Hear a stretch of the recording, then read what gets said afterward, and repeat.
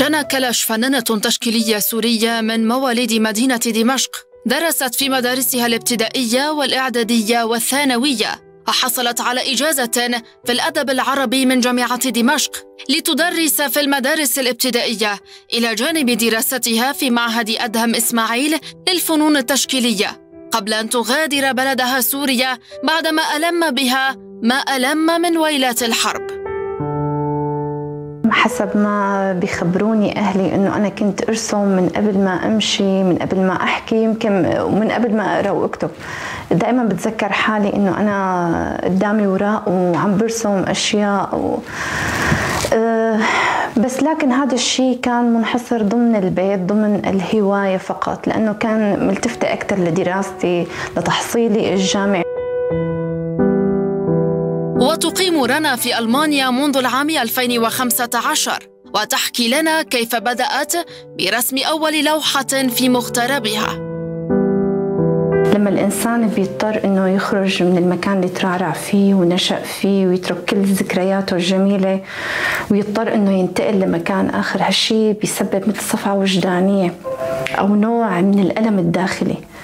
يمكن أنا بالرسم حسنت إني أتغلب على هذا الشيء كنوع من الراحة. فبعد أربع سنوات انقطاع عن الرسم وعن الكتابة بسوريا حسنت أرسم أول لوحة لمدينة دمشق القديمة. كنوع من إيفاء النذور وشاركت رنا في عدة معارض فنية جماعية إلى جانب مساهماتها العديدة في قامة ورش عمل وندوات حول الفن التشكيلي بأساليب جديدة. كانت إحدى نشاطاتي المشاركة بمعرض متحف فريدلاند بعنوان I feel اللي هو كانت فكرته رائعة بالجمع بين فنانين على لوحة واحدة. فكان الفنان مهمته يرسم نصف لوحة والمعرض بيقوم بإرساله لفنان آخر من غير معرفة هذا الفنان الفنانين ببعضهم. فكانت المفاجأة يوم افتتاح المعرض التقاء الفنانين. كل واحد عم يحمل سؤال بذهنه. من أكمل لوحتي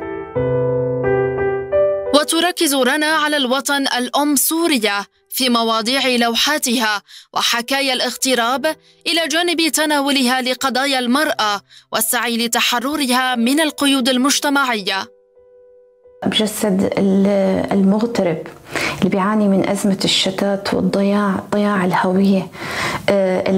دائما بجسد لوحاتي بعين غائبة وعين حاضرة. العين الغائبة اللي بتمثل هالماضي والذكريات العريقة اللي تركها وراه وعين حاضرة اللي هي بتمثل التطلع للمستقبل التطلع لخطوات جديدة بالحياة. ولرنا مساهمات أدبية في مجال القصة القصيرة. وتعكف الآن على كتابة رواية من وحي تجربتها. بالإضافة إلى مواصلتها مشوارها الفني الذي تأمل من خلاله إبراز هويتها كامرأة سورية متفوقة.